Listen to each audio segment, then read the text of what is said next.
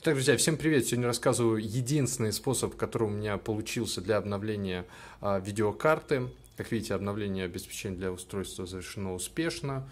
Вот у меня вот такой старый ноутбук Samsung R519 GA04. А, и он 2009 года. Здесь установлен Windows 8.1. Я сейчас а, скачивал все обновления. А, видео, а, ну, короче, видео ну, я не знаю, как видеокарта не обновилась. То есть драйвера на видеокарту не обновились, и было очень плохое разрешение, там 1024. Так вот, рассказываю, что надо сделать. А, нажимаете пуск, набираете здесь диспетчер устройств, ну, там D э, и так далее. Вот, диспетчер устройств. Я только набрал D, уже а, набрался. Вот он у меня уже открыт, диспетчер устройств.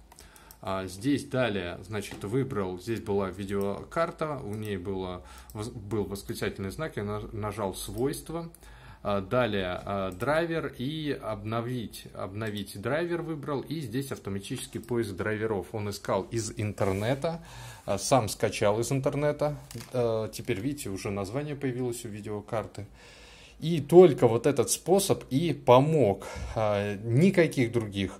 Я заходил на официальный сайт, страницу э, Samsung, значит, э, искал там драйвер, его нет, потому что последний для Windows 7, это же 2009 года вообще ноутбук, понимаете?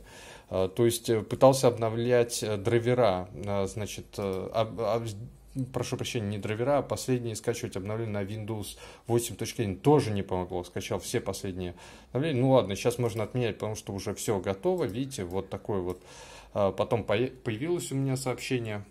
И э, вот так все это и происходит. И э, теперь разрешение какое должно быть, потому что было 1024, там сейчас смотрите разрешение какое должно быть максимально, 1366 на 768, и все отлично. Единственный способ, еще раз повторяю, который сработал. Другие основные э, способы не сработали, ну а свидетель тому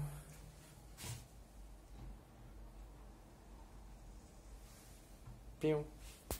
Котейка.